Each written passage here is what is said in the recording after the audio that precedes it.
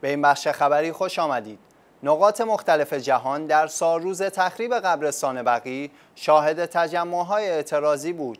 بسیاری از شیعیان در شهرها و کشورهای مختلف جهان با راه اندازی تجمعهای اعتراضآمیز به این جنایت بشری اعتراض کردند.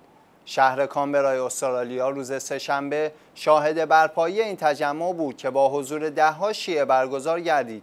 همچنین شیعیان امروز چهارشنبه در شهرهای دهلی پایتخت هند، اسلام آباد پاکستان و واشنگتن دی سی در آمریکا مقابل سفارت عربستان سعودی تجمع کرده و با سردادن شعارهایی و در دست داشتن تصاویر بقی خواستار بازسازی هرچه سریعتر این مکان مقدس شدند.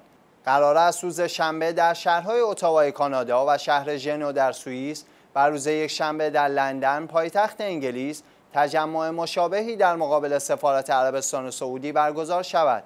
شاین ذکر است در کمتر کشوری به اندازه عربستان آثار مربوط به قرون نخستین اسلام وجود داشته است چرا که زادگاه اصلی اسلام آنجاست و آثار گرانبهایی از پیشوایان اسلام در جاجای این سرزمین دیده می شود ولی متاسفانه وهابی ها بیشتر این آثار ارزشمند را به بحانه های واهی از میان برده اند و کمتر چیزی از این آثار پرارزش باقی مانده که یکی از مهمترین آنها قبرستان بقی و قبور متحر چهار امام شیعیان در این قبرستان است.